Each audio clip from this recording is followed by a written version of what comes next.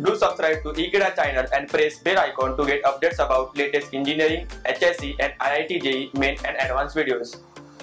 Hello students, today we are studying chapter Organisms and Environment. In that, we are studying topic Parasitism. Parasites. In biology, parasites means something harmful. Today we'll be studying how animal kingdom is affected due to parasitism. Parasitism. Now, this kind of interaction is an interaction in which one organism in this interaction is always harmed when as the other organism or another species is always benefited. A live example of this could be parasitism in the case of diseases.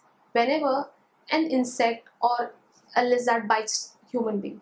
Now, whenever a snake bites to human being, this is a form of parasitism the snake gets benefited or the insects get benefited whereas the organism human being is always in pain. Another could be plasmodium species or you can say the small worms which live in the intestine of human beings plasmodium. These small worms or annelids always live in the intestine of human beings get nutrition from the human diet and in return give human beings deficiency diseases disorders and all the skin rashes all of them Parasitism is seen majority in carnivorous animals, sometimes in herbivorous animals. For example, leeches or small intestinal insects residing on the surface body of a dog or on the surface body of a zebra or rhino which is always in the muddy water even on the tusk of an elephant the animals which are residing those are the kind of parasitisms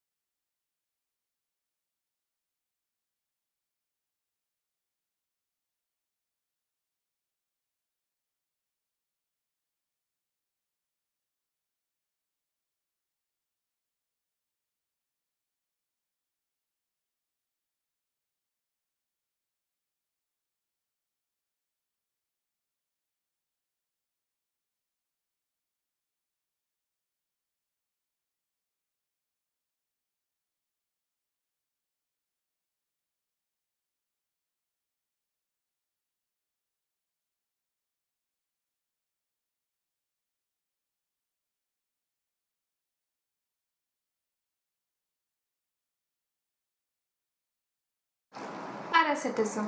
When I talk about parasitism, it is a type of symbiotic relationship between which organisms of different species interact, in which one organism, which is the parasite, the harmful one, is always benefited at the expense of another organism. Humans catch any disease, an HIV infection to human being. The parasite HIV will harm human beings in numerous ways or you can you can say malaria that is caused to a human being.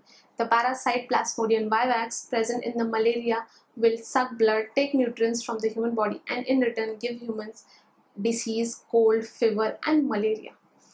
In animal kingdom, there are various examples of parasitism. Even Plasmodium vivax living in the intestine of human beings is an example of parasitism.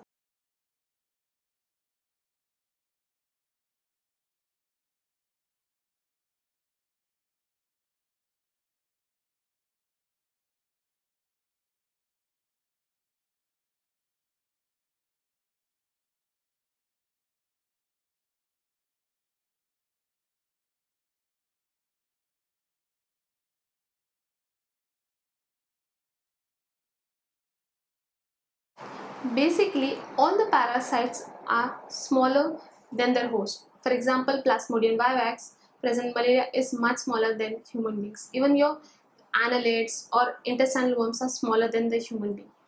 But they have an ability to multiply or to reproduce much faster speed as compared to human beings, due to which their population grows inside human beings and they can cause a harm to human beings.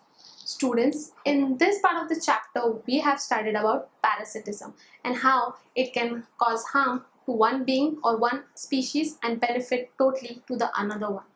I hope you all are clear about this concept. Thank you.